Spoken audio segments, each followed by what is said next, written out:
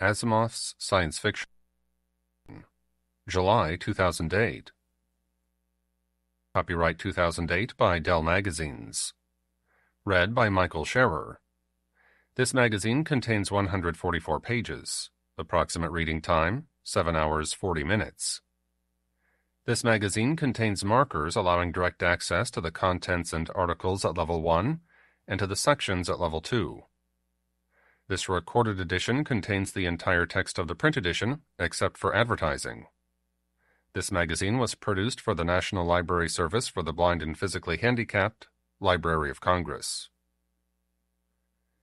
Table of Contents Departments Editorial Two robots and an alien walk into a bar.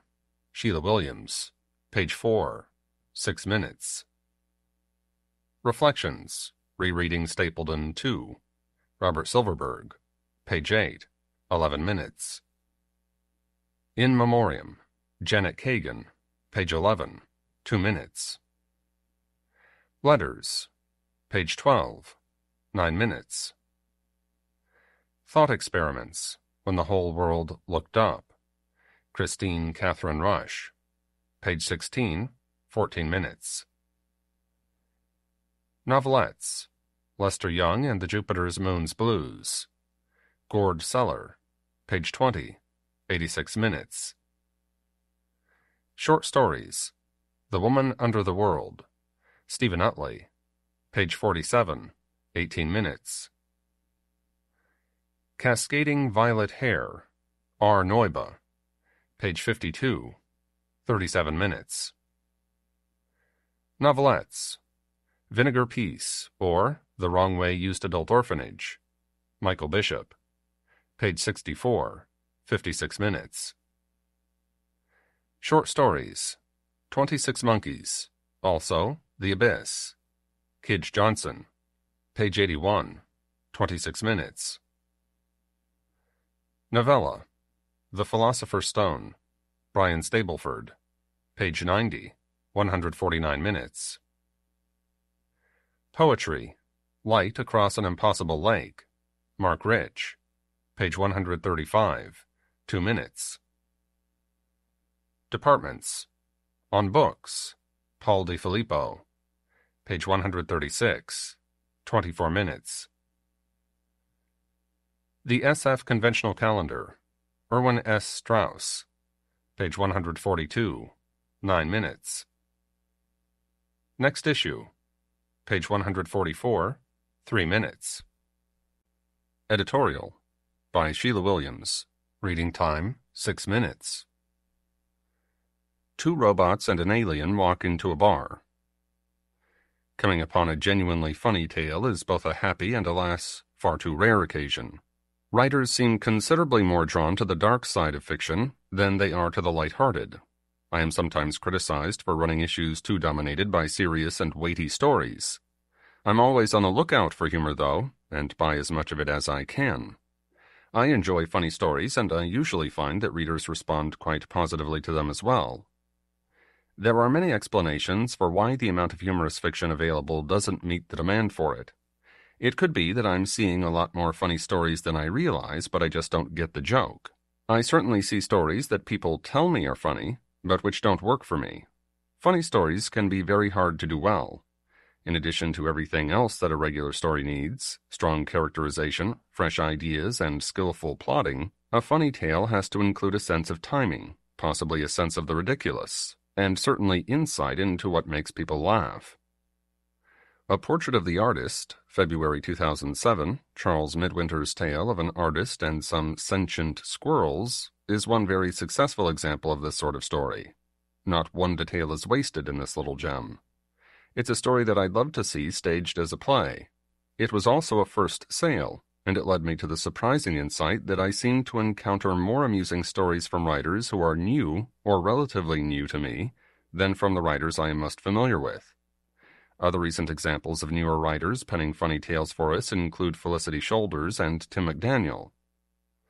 Of course, humor is not completely dominated by new writers. Neal Barrett Jr., author of the amazing Ginny Sweethips Flying Circus, February 1988, and more recently Sliden, April May 2008, and radio station St. Jack, which will be appearing in our August issue, is a true poet of the absurd who can make us laugh until we cry about the apocalypse and its aftermath.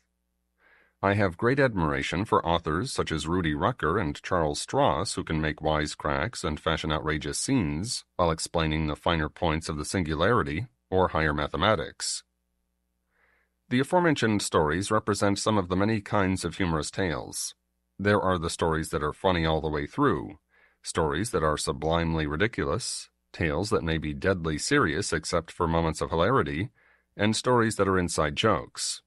Michael Swanwick is the master of the inside joke. His letters to the editor, October November 2001, and Congratulations from the Future, July 2007, could only have appeared in Asimov's. Stories like those run the risk of being dismissed by the untutored reader. Fortunately for us, at least 95% of you were in on the jokes, and the other 5% came up to speed pretty quickly. Naturally, of course, humor stories run multiple risks. There's the concern that the reader won't get the joke. There's also the possibility that the reader will get the joke, but won't consider it funny. Often it's the humorous stories that come under the most sustained attacks from critics. Critics of short, funny stories often seem to be arguing with the straw man version of the story. They will go after a serious point that they believe the author made or failed to make. Much of the time, these criticisms would be legitimate if the tale had been a serious one. But in the case of the funny story, the serious point may have nothing to do with what the story is really about. It's tempting but unfair to dismiss the critic as lacking a sense of humor. More likely, the writer has failed to get the joke across to widest possible audience, or else the critic's sense of what is funny is just narrower than it might otherwise be. What makes my job easier, though, is that it's usually those same stories that reap praise from the rest of you. One other disadvantage for the authors of funny fiction is that their skillful work may fail to get serious attention. Yes, there are exceptions like Connie Willis and Howard Waldrop, who are capable of getting their amusing work onto the final ballots for Hugo and Nebula Awards. Still, most award finalists seem to have a lot more in common with Connie's heartbreaking The Last of the Winnebagos, July 1988, than they do with her comic Even the Queen, April 1992. Esther M. Friesner, who has delighted us with numerous witty stories, won both her Nebula Awards with dark and disturbing pieces. One type of story I'd like to see a lot more of is the kind that can mix the transformative and the earth shattering with the droll and the hilarious. Like a good Irish wake, the end of the world can be easier to take when served with a dollop of humor. I'm not the only one who likes these tales. Stories that can leaven highly stressful situations with some humor are very popular and often receive critical attention as well. This sort of fiction has a very good shot at bringing home the gold. So, authors, please keep this advice in mind the next time you set that doomsday device on a course heading for planet Earth. We welcome your letters. They should be sent to Asimov's, 475 Park Avenue South, Floor 11, New York, New York 10016, or emailed to Asimov's at dellmagazines.com. Space and time make it impossible to print or answer all letters, but please include your mailing address even if you use email. If you don't want your address printed, put it only in the heading of your letter. If you do want it printed, please put your address under your signature. We reserve the right to shorten and copy edit letters. Reflections by Robert Silverberg. Reading time 11 minutes. Rereading Stapledon 2.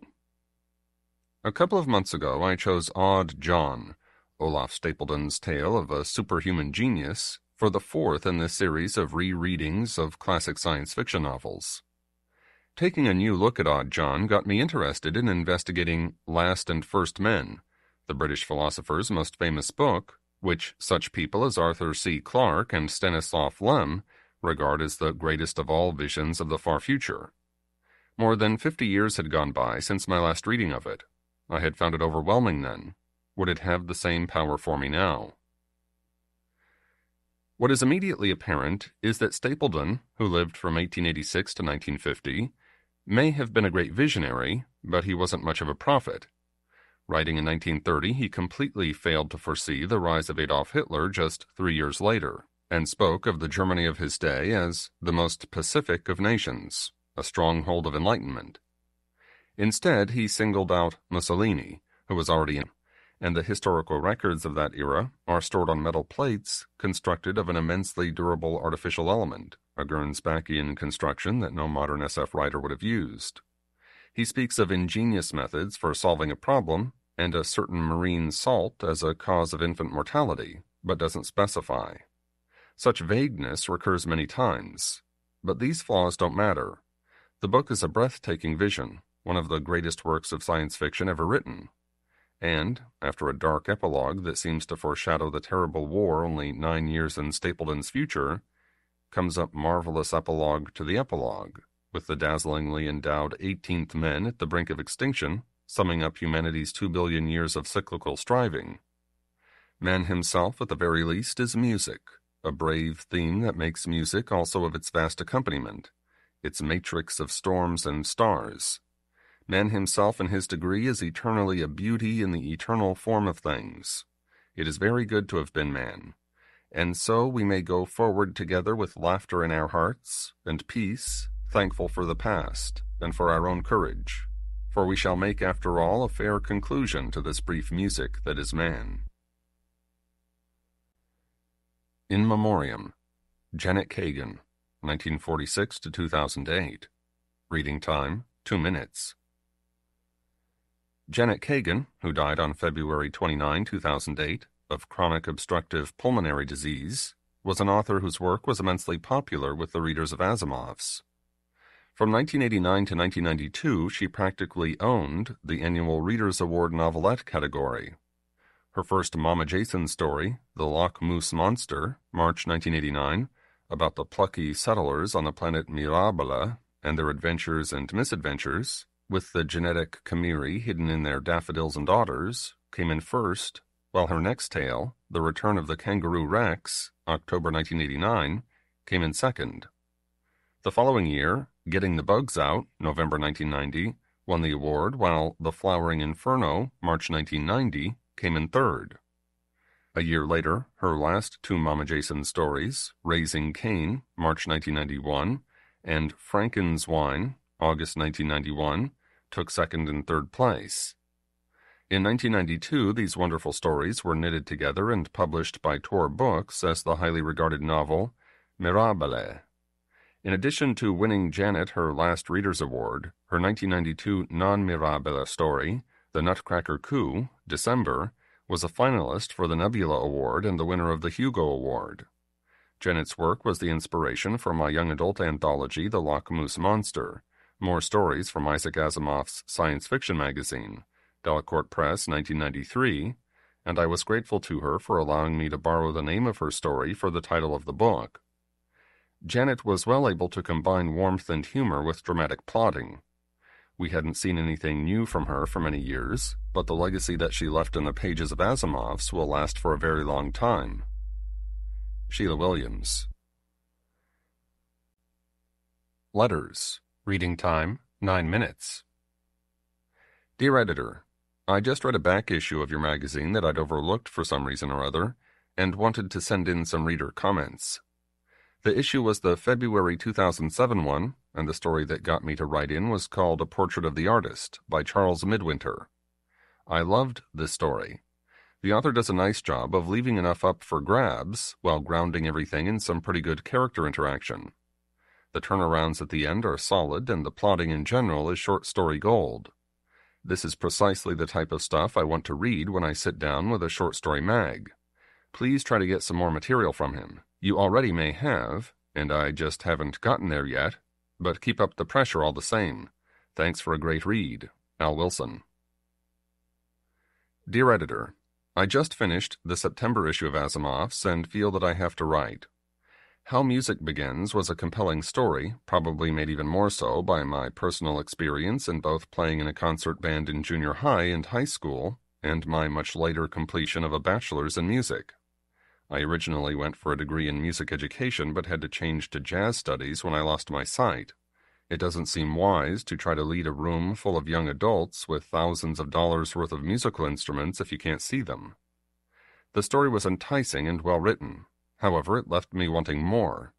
I want to now hear the story from Elise's point of view, perhaps with the mystery explained at the end.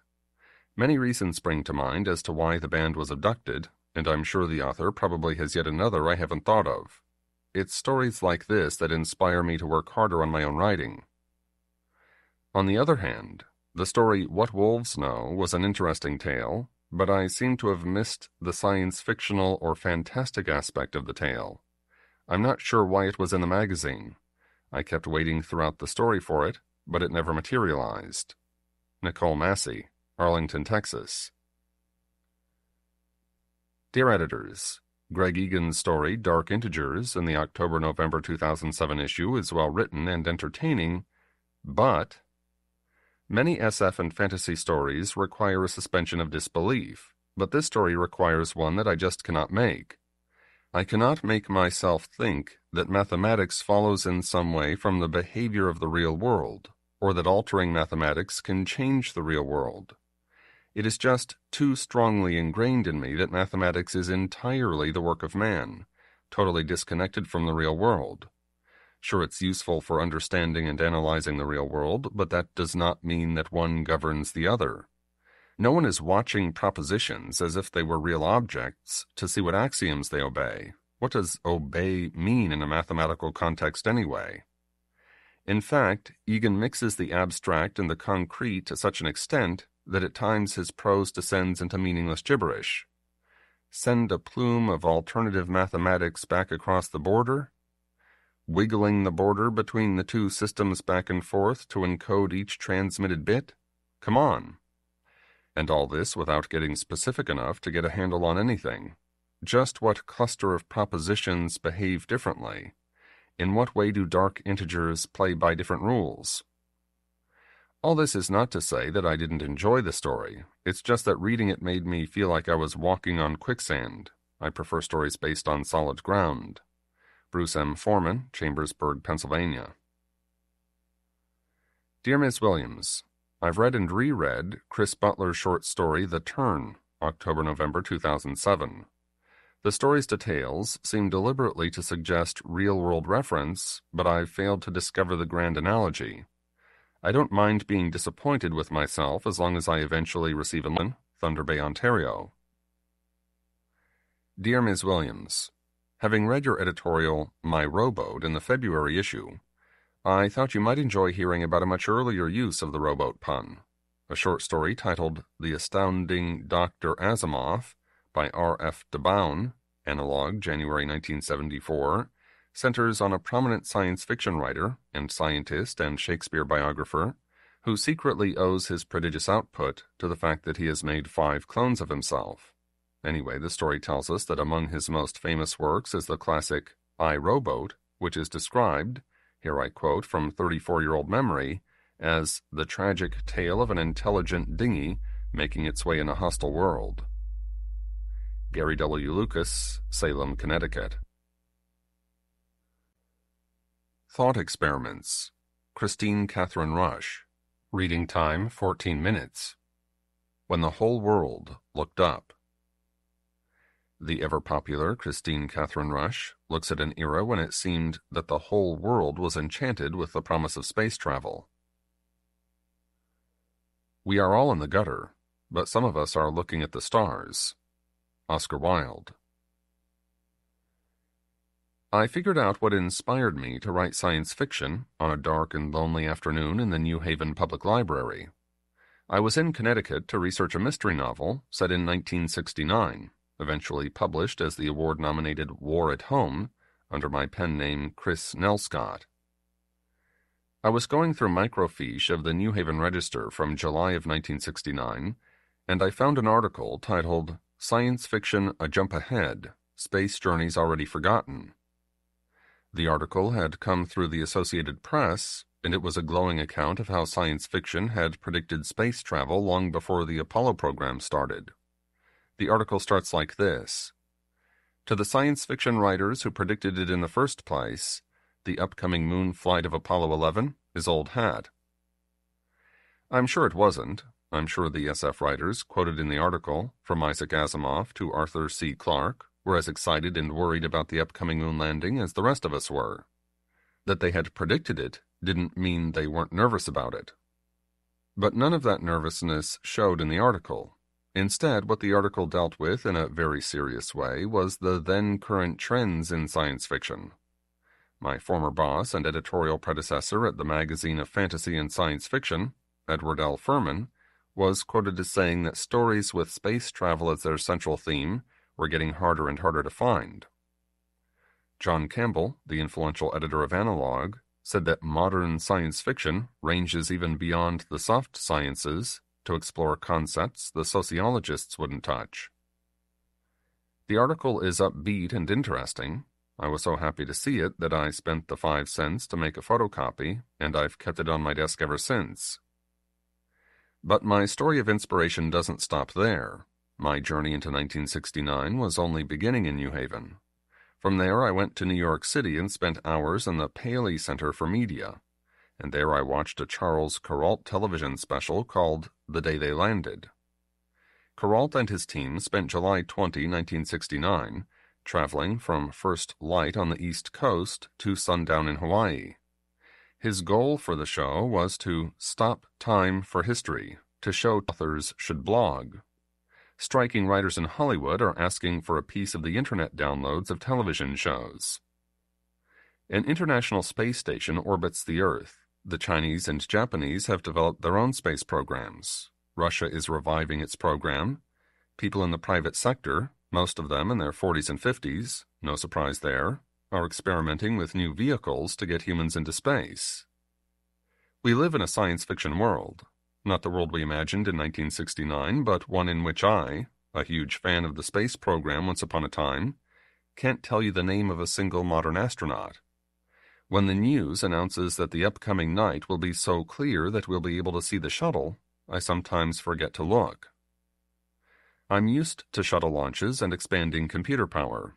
I use satellites all the time. My favorite television programs reach me via satellite. The GPS in my phone tracks me from moment to moment, using a satellite. When I'm researching areas I haven't been to for a while, I go to websites that feature real time satellite photos of the area and zoom in until I can see the license plates on the cars parked in the street. I have gotten used to the changes. I no longer marvel at things that would have caused my jaw to drop 15 years ago. Until I went to New Haven and saw that article on the great imaginers the people who envisioned what this world would become, the SF writers whose bold vision had eventually made the moon landing possible, I had forgotten one of the grandest and most glorious aspects of science fiction. In one of the darkest times this country has ever known, science, and science fiction, gave us hope. It distracted us from the ugly events on the ground and made us look up. For a brief shining moment, it made us forget the gutter and dream of the stars. Lester Young and the Jupiter's Moon's Blues. Gord Sellar. Reading time 86 minutes.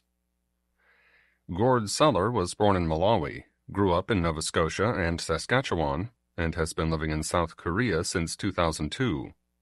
He has sold work to Nature, Flurb, Postcards from Hell, Fantasy, and Interzone. The author is also a jazz saxophonist, and although he hasn't played in a jazz group since 2002, he did play with a moderately successful Korean indie rock band from 2002 to 2004.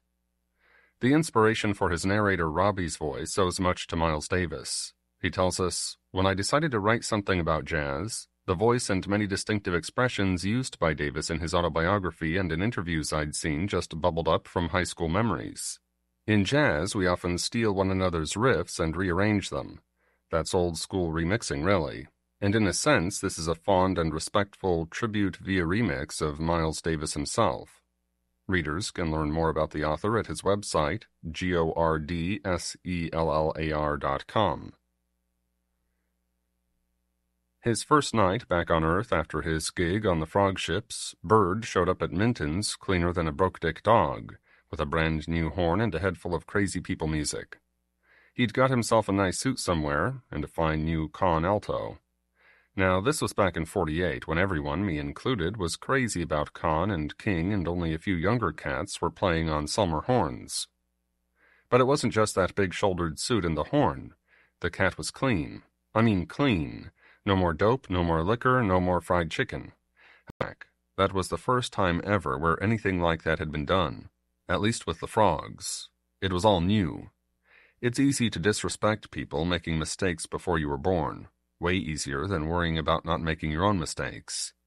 That's just bullshit, trying to fill us up with regret for what's all long gone now, like the frogs. Shit, maybe there are things I regret, like leaving Francine the way I did, or how I totally stopped visiting JJ in the asylum after we got back. But most of my regrets are for things that ain't my fault. I regret seeing Prez the way he ended up, for instance, and I regret never seeing Big C again, and Monique for that matter. I used to think about all that a lot after I first got back. Man, I remember lots of times when I used to stand there under the bridge while everyone was playing back all their favorite lines from old records we all knew, and I'd look up into the sky and find Jupiter. It's easy, you know. Just look up. It looks like a star, a bright old star up there. I'd stare on up at Jupiter back then, and think of Prez, and blow a blues on my horn, the baddest old mother of a blues that anybody anywhere ever heard in the world. Visit our website, www.asimovs.com. Don't miss out on our lively forum, stimulating chats, controversial and informative articles, and classic stories. Log on today. The Woman Under the World. Steven Utley. Reading time 18 minutes. Steven Utley's Silurian Tales, launched in Asimov's in 1993, now number almost three dozen, and have also appeared or are about to appear in F&SF, Analog, the UK-based Postscripts, Sci Fiction, Revolution Science Fiction, the online edition of Cosmos magazine, based down under, and Peter Crowther's We Think, Therefore We Are anthology, forthcoming from Daw Books. The author also has an anthology that he co-edited with Michael Bishop, Passing for Human, that has just come out from PS Publishing. The pod splits open with a hiss, and the glowing being steps out, looks about itself in confusion, takes it cannot say how long to understand what it is seeing, though it could not have said why what it sees is also puzzling. It finds itself at one end of a chamber hewn from solid rock and braced with timbers. Behind it, the pod lies against the wall like a smashed tomato. Ahead, at the angle of a bend, it makes out the shapes of a large television screen and a battery of monitoring devices, including a television camera mounted on a tripod. Behind this array is a metal door. As vision continues to improve, a man's face appears on the television screen. His mouth moves. The glowing being knows the man is speaking, but nothing can be heard. It wants and tries to say, What the hell's going on here? Where the hell am I? But cannot be certain that it succeeds in uttering even the most inarticulate sounds. No, wait, the man on the screen flinches. Response. So it has done something, not sure what, but something. The man looks off screen and shakes his head. Then another face, a woman's, crowds into view, and she too speaks soundlessly. The glowing being takes a step forward, and the expression on both faces on screen become a long college. Are people continuously themselves, or simply over and over again so fast that they give the illusion of continuous features? The temporal flicker of old silent film. Say fucking moi. You only think you are a person named Phyllis Lewis. You only think you have a body and organs. You only think you are, or at least were, human but you are a ghost of a real human being, not even a real ghost at that. And there is no PA system here, no TV cameras or monitors, no prison deep inside the earth. But part of me still wants to believe otherwise. It protests, how then do we communicate with? And then it catches itself up short. Of course. We don't communicate with anybody. There is no them with whom to communicate. It's just you and I, talking to ourselves, talking to myself, existing for a timeless interval, but only as a side effect or byproduct of particle decay. and alone. Alone. Alone. No, not quite. My husband and I waded into the cool water up to our knees, and he dipped his hand into the water, brushed his fingers across my face, and I was happy, excited by the prospect of going through the anomaly, but deeply satisfied to be standing knee deep in water with my husband. And then I noticed tears in his eyes. Darling, darling, I asked, what is it? He almost sobbed. Whoever says time travel won't have its martyrs, just as space travel did. This anomaly business is so new and different and weird. Who knows what could happen? Nothing is going to happen to me, I said. I'm going to slip through and help set up a jump station on the other side. And then I'm coming right back. To you. To all this. Promise. I have, for as long as I do have it, for either a nanosecond or an eon, everything Phyllis Lewis has. I have my memories. Cascading Violet Hair. R. Neube. Reading time 37 minutes. R. Neube mixes love and plutonium in a hot tale about cascading violet hair. The sighting. It was Thursday, so I walked home from work with Paul Lee. Come on, Henry, pick up the pace. It isn't aerobic until your heart breaks a sweat. My liver's dripping, isn't that enough? I asked. You have to change your flabby life. The barrel chested man winked at a pedestrian as he pulled off his shirt. Paul strutted, basking as if the rush hour crowd had turned out solely to worship his physique. It's not flab, but my strategic reserve for the next famine. They're a blowout at Lindgren's tonight. Why don't you join us? No thanks, I grumbled, trying to pretend I wasn't out of breath. Come on, Henry, you can't mourn forever. Get bent. My mind's eye watched my wife's body bag arcing toward Jupiter on its three year flight to eternity. I successfully chilled memories of her scent. Ricky has a sister with a taste for older men. Paul jogged circles around me. I'll pass. A woman lifted her face.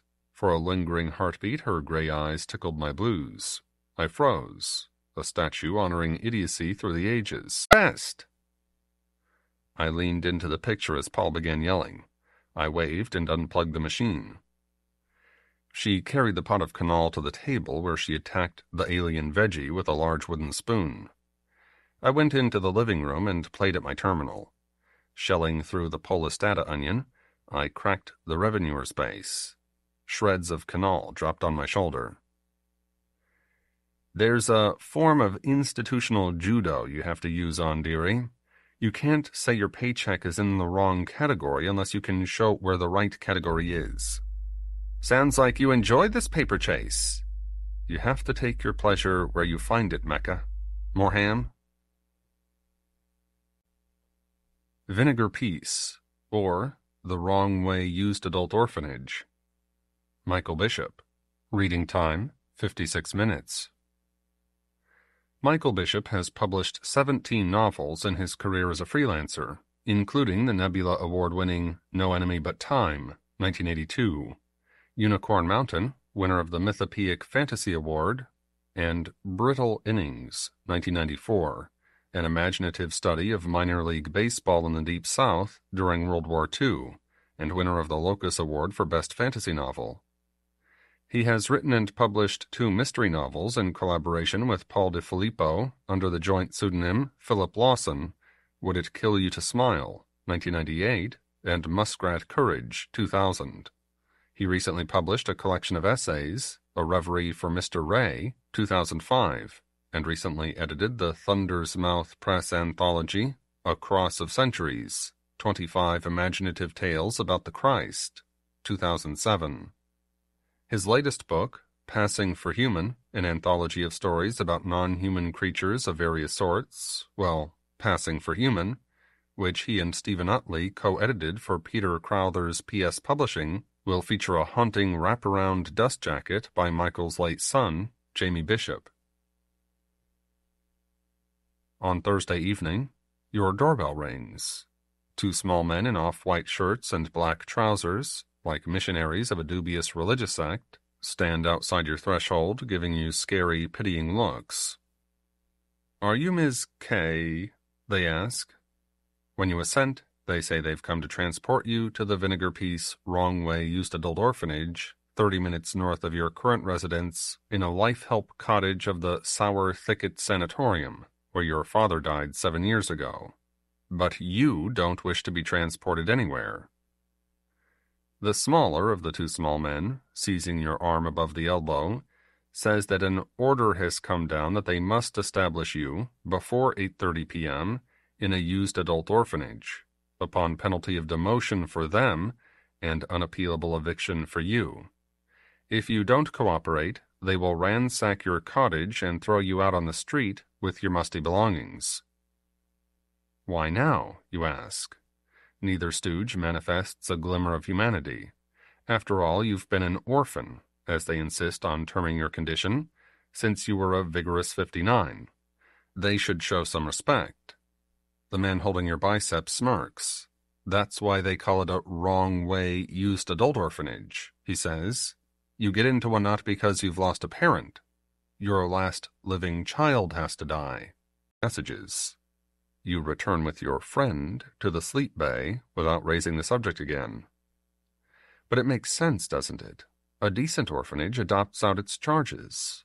If you believe, just believe, somewhere there's a compassionate Bryce or Elise, a person who survived six tours and wants nothing more than to rescue some poor wrong way orphan from terminal warehousing.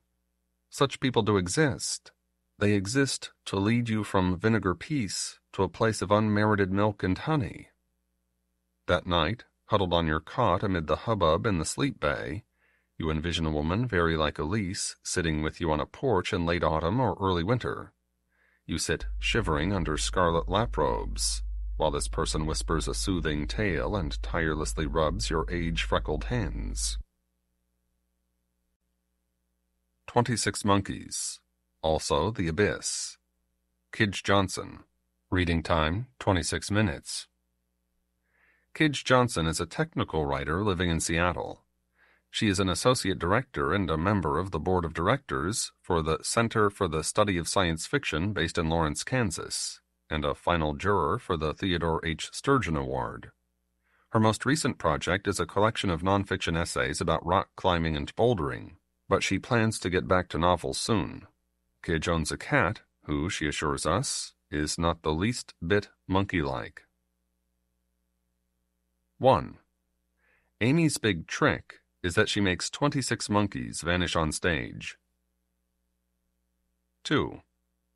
She pushes out a clawfoot bathtub and asks audience members to come up and inspect it. The people climb in and look underneath, touch the white enamel, run their hands along the little lion's feet. When they're done, Four chains are lowered from the stage's fly space. Amy secures them to holes drilled along the tub's lip and gives a signal, and the bathtub is hoisted ten feet into the air. She sets a stepladder next to it. She claps her hands, and the 26 monkeys on stage run up the ladder one after the other and jump into the bathtub. The bathtub shakes as each monkey thuds in among the others. The audience can see heads, legs, tails, but eventually, every monkey settles and the bathtub is still again. Zeb is always the last monkey up the ladder. As he climbs into the bathtub, he makes a humming boom deep in his chest. It fills the stage. And then there's a flash of light, two of the chains fall off, and the bathtub swings down to expose its interior. Empty. 3. They turn up later, back at the tour bus. There's a smallish dog door, and in the hours before morning the monkeys let themselves in, alone or in small groups, and get themselves glasses of water from the tap. If more than one returns at the same time, they murmur a bit among themselves, like college students meeting in the dorm halls after bar time. A few sleep on the sofa, and at least one likes to be on the bed, but most of them wander back to their cages. There's a little grunting as they rearrange their blankets and soft toys, and then sighs and snoring. Amy doesn't really sleep until she hears them all come in. Amy has no idea what happens to them in the bathtub, or where they go, or what they do before the soft click of the dog door opening. This bothers her a lot. 4. Amy. But she's already there. She just hadn't noticed. 22. Here's the trick to the bathtub trick. There is no trick. The monkeys pour across the stage and up the ladder and into the bathtub, and they settle in and then they vanish. The world is full of strange things, things that make no sense, and maybe this is one of them. Maybe the monkeys choose not to share. That's cool. Who can blame them? Maybe this is the monkeys' mystery how they found other monkeys that ask questions and try things, and figured out a way to all be together to share it.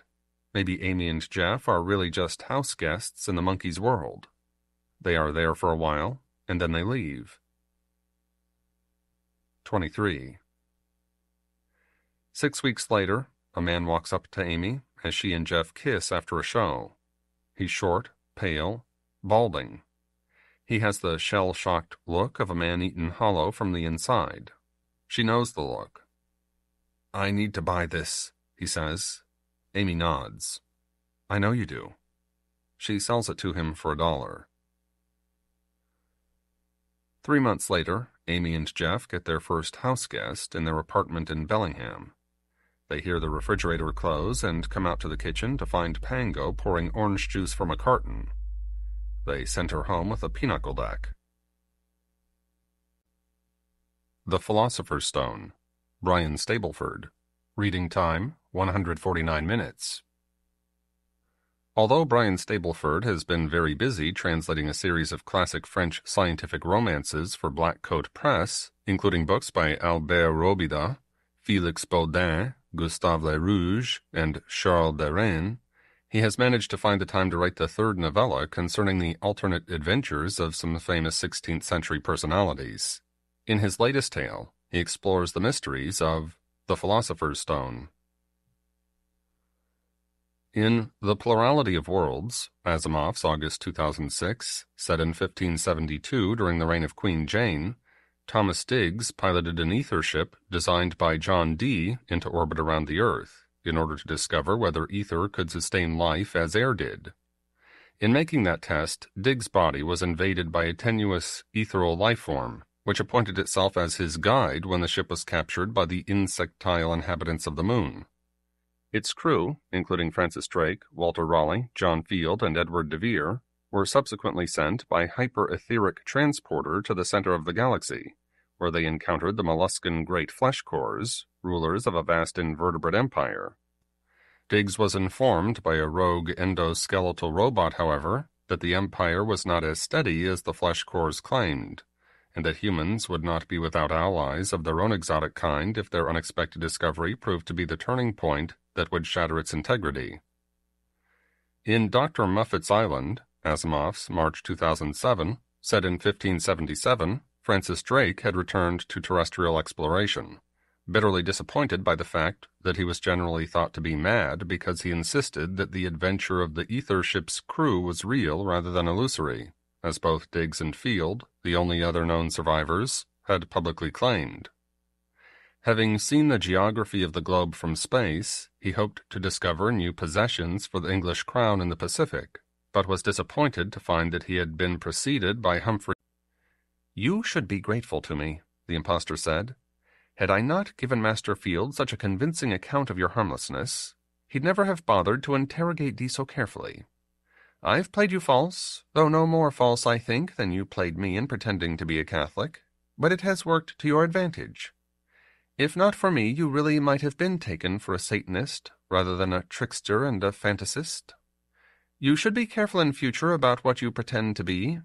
The pretense of being a cunning man, a fortune teller, or a Paracelsian might impress credulous folk, but the word of God is spreading now as never before, and enlightenment will soon reach into every corner of English society.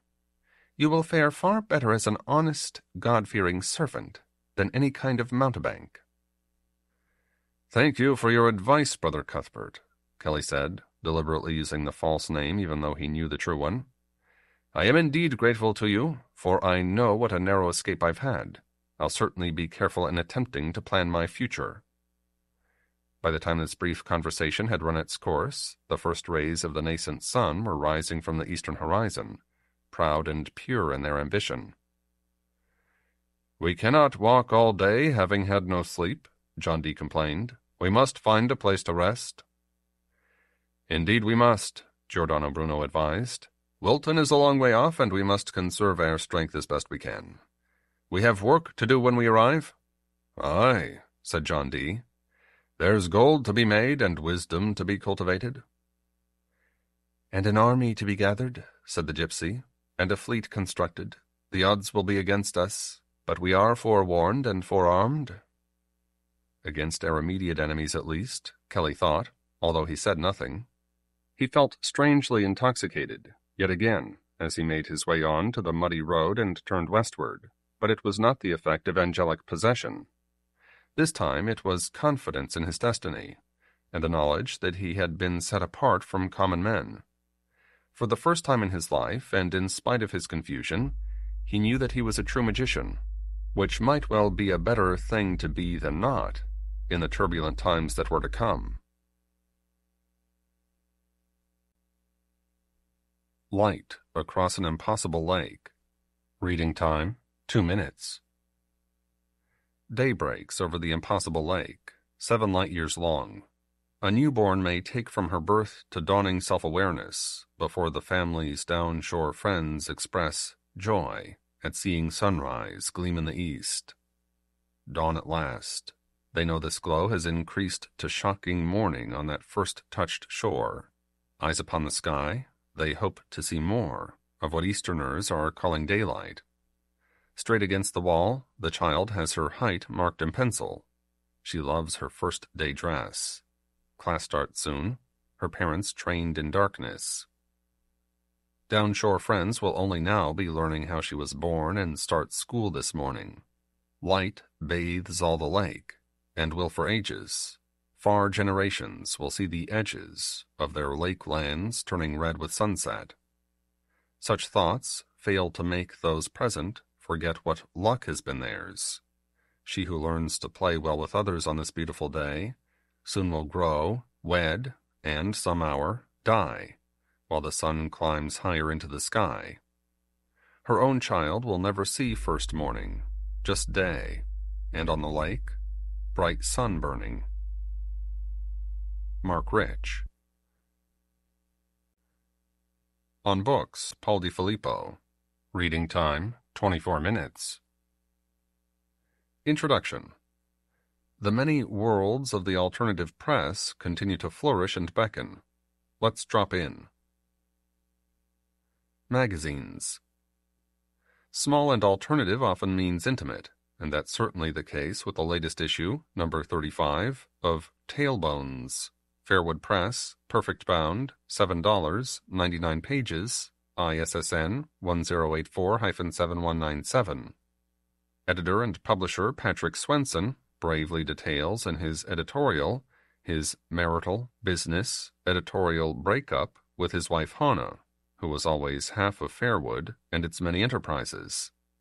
But he reassures us that the zine will go on under his aegis alone, and if the contents of this issue are any gauge, Talebones will continue to prosper. These accomplished stories run the gamut from pure SF to gothic to near mimetic.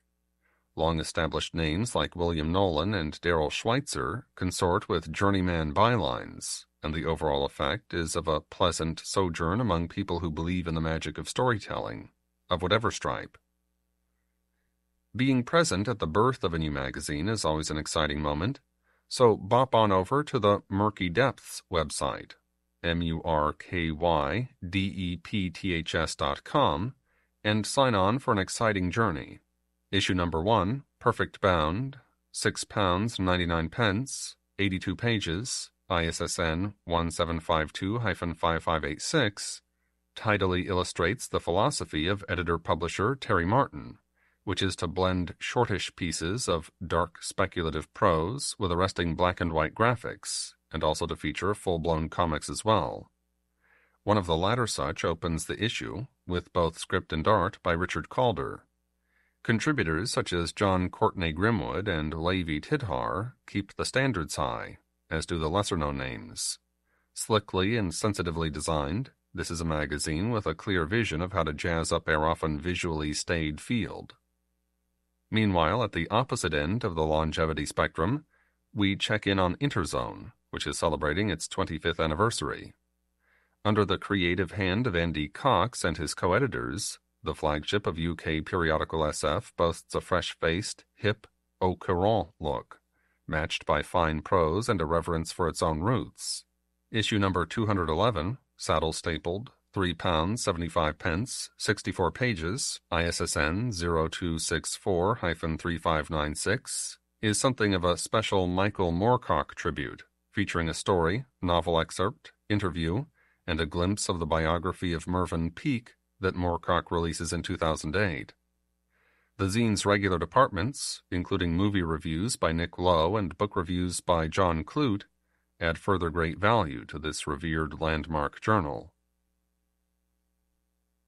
Nonfiction Editor Stephen Haffner has assembled a wonderful tribute volume to the departed Jack Williamson.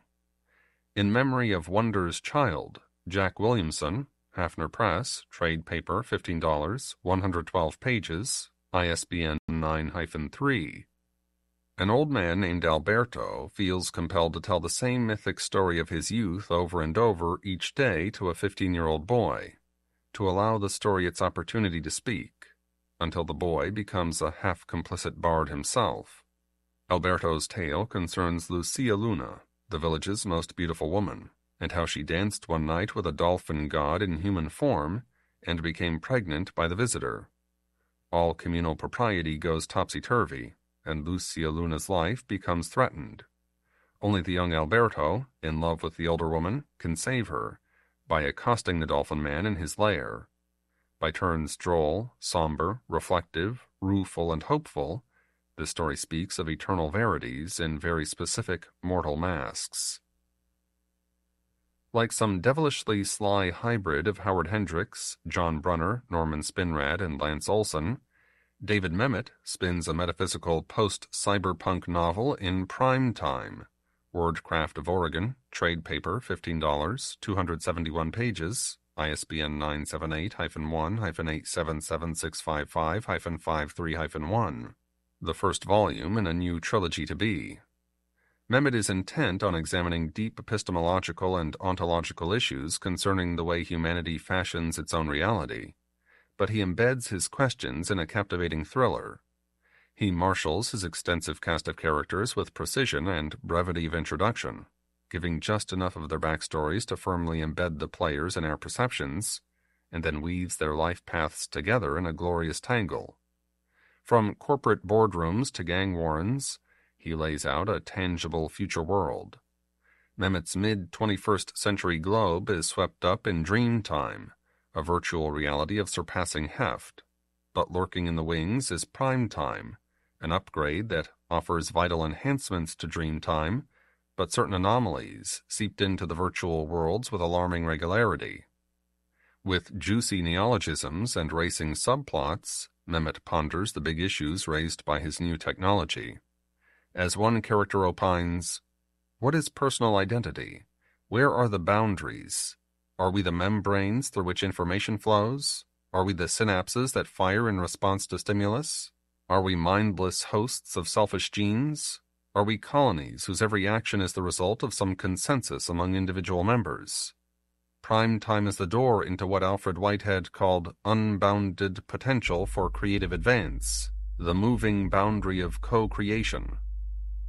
This is philosophic SF at its best. SF Conventional Calendar. Reading time 9 minutes. This is crunch time for deciding which Memorial Day convention is the one that's right for your interests. Plan now for social weekends with your favorite SF authors, editors, artists, and fellow fans. For an explanation of conventions, a sample of SF folk songs, and info on fanzines and clubs, send me an SASE, self addressed, stamped, number 10 business envelope at 10 Hill, number 22L, Newark, New Jersey 07102. The hotline is 973 242 5999. If a machine answers with a list of the week's cons, Leave a message and I'll call back on my nickel. When writing cons, send an SASE. For free listings, older crowd than most media cons.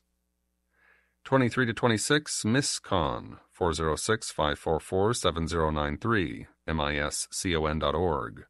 Ruby's Inn, Missoula, Montana. General SF and Fantasy Convention. 23 to 26 Timegate. TimeGateCon.org. Holiday Inn, Chamblee, Dunwoody Road, Atlanta, Georgia. Doctor Who and Stargate. 30 to June 1. Con Carolinas, Box 9100, Charlotte, North Carolina 28299. C O N C A R O L I N A S dot org. Mike Resnick, Kim Harrison, F. Hunter. 30 to June 1. ACON, 3352 Broadway Boulevard, number 470, Garland, Texas 75043. A-kon.com, Dallas, Texas. Anime, comics, and more. 30 to June 1. Relaxicon, A-R-I-S-I-A dot org, Cape Cod, Massachusetts. Meet and greet for volunteers for next year's big ArisiaCon. 30 to June 2. New Zealand National Con, care of Box 16150, Wellington South, New Zealand. sf.org.nz, somewhere in New Zealand. June 2008. 6 to 8, SoonerCon, 6006 Southwestern, Oklahoma City, Oklahoma 73139, 405 632 2848. S O O N E R C O N dot com, SF, Fantasy and Gaming. 6 to 8, ConComCon, care of Box 1066, Seattle, Washington 98111. SWOC.org forward slash CCUBED. Northwest Con organizers meet to talk shop. 6 to 8, Australia National Con, care of Box 1212. Melbourne, VIC 3001, Australia. natcon.org.au, somewhere in Australia. 6 to 8, ColoniaCon, C O L O N I A C O N 2006.de, Köln, Cologne, Germany, a major media oriented German convention. August 2008, 6 to 10, Denvention 3, Box 1349, Denver, Colorado 80201. D-E-N V-E-N-T-I-O-N 3.org. Buchholz, Sternbach, Whitmore. WorldCon, $200. August 2009. 6 to 10, Anticipation, CP 105, Montreal, Quebec, H4A 3P4. AnticipationSF.ca. Gaiman, Hartwell, Doherty. WorldCon, 150 plus US dollars. Next issue. Reading time, 3 minutes. August issue. One of science fiction's greatest hidden treasures, Neal Barrett Jr., returns with the lead story of our August issue. In Radio Station St. Jack, Barrett directs his sights, as in many of his best stories, to yet another post apocalypse, one in which Father Mac must somehow protect his radio station, his faithful flock, and the nun he loves from Bob the Destroyer's rampaging raiders, and hopefully preserve his own tender posterior in the process. This is a wild and witty tale of a down to earth padre just trying to keep it together after the rest of the world's fallen apart. We think you'll love it. Also in August, acclaimed new writer Ted Kosmatka returns with a new hard SF story about a laboratory experiment, once thought harmless, that just might rip the world apart under its divining light. Carol Emshwiller aims right for the heartstrings with her tragic tale of an innocent stranger in our strange land who goes by the name of either Wilmer or Wesley. Robert Reed warns that the local senior citizens you see harmlessly feeding pigeons in the park might not be what they seem in Old Man Waiting. Matthew Johnson presents a timely and uncomfortable portrait of the outsourcing woes of the future in Lagos. Jack Skillingstead demonstrates that what you are about to see might just be the result of an unseen alien agenda, and J. Chris Rock, making a strong Asimov's debut, describes the perilous journey of Lucy along the murky seas of Saturn's moon Titan. Our exciting features Rudy Rucker contributes a new thought experiments column that forecasts no less than the strange shape of future humanity after the Great Awakening. Robert Silverberg calls upon over 50 years of experience to present some thoughts on the short story in his Reflections column. James Patrick Kelly goes back to school with the intention of storming the academy in On the Net. Peter Heck presents On Books, plus an array of pleasant poetry by many of your favorite poets. Coming soon. New stories by Nancy Kress, William Barton, Melanie Tem and Steve Rasnic Tem, Ian R. McLeod, Stephen Baxter, Mary Rosenblum, Larry Niven, Geoffrey A. Landis, Robert Reed, Ian Creasy, Jack Skillingstead, Robert R. Chase, Will McIntosh, Steven Utley, and many others. End of Asimov's science fiction for July 2008. Recorded in the studios of Potomac Talking Book Services Incorporated for the Library of Congress, June 2008. Published by Dell Magazines, a division of Crosstown Publications, 6 Prowitt Street, Norwalk, Connecticut, 06855. Further reproduction or distribution in other than a specialized format is prohibited. If you experienced any difficulty with your copy of this magazine, please specify the problem on a postcard or letter addressed to Materials Development Division, National Library Service for the Blind and Physically Handicapped, Washington, D.C. 20542, or send an email message to qas at loc.gov. End of book.